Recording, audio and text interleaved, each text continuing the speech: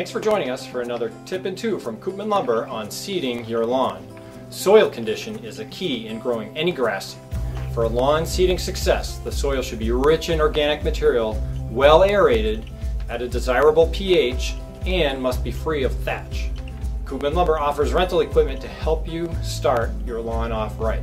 See our rental pages for video demonstrations on all our lawn enhancement equipment. First of all, seed to soil contact is a must in seeding your lawn. If the seed cannot touch the soil, the seed cannot germinate. Raking is a good way to go, but a dethatcher is fast and efficient. Aerators are a great way to quickly and effectively relieve some of the soil's compactness. Grass roots can spread easier in looser soil, and well-aerated soil provides a better home for seeds to start off.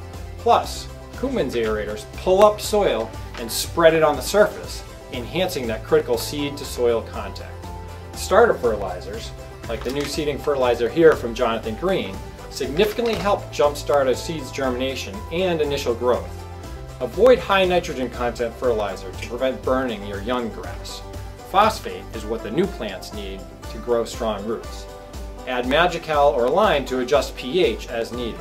But don't use any weed or insect controls for several weeks prior to seeding.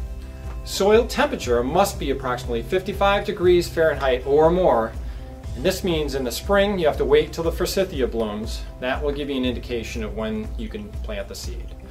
The grass you choose must receive the appropriate amount of sunlight. So choose, there's sun and shade, there's full sun, there's shade blends. Make sure you pick the right one for your conditions. When selecting a seed, make sure the blend has mostly perennial seed in it unless you just need a fast germination for temporary soil retention. Annual grass seed will germinate fast, but will grow for only one season.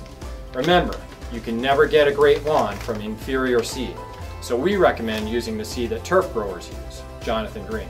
They are the seed experts. Watering should start light and frequent at the beginning, just getting the soil moist a couple times a day through the full germination period. Gradually reduce the frequency and increase the amount after the seeds germinate so that the roots will learn to grow deep into the soil to reach water. Avoid watering in the afternoon and evening hours as that will tend to breed fungus. Thanks for joining us for another Koopman Tip and 2 on seeding your lawn.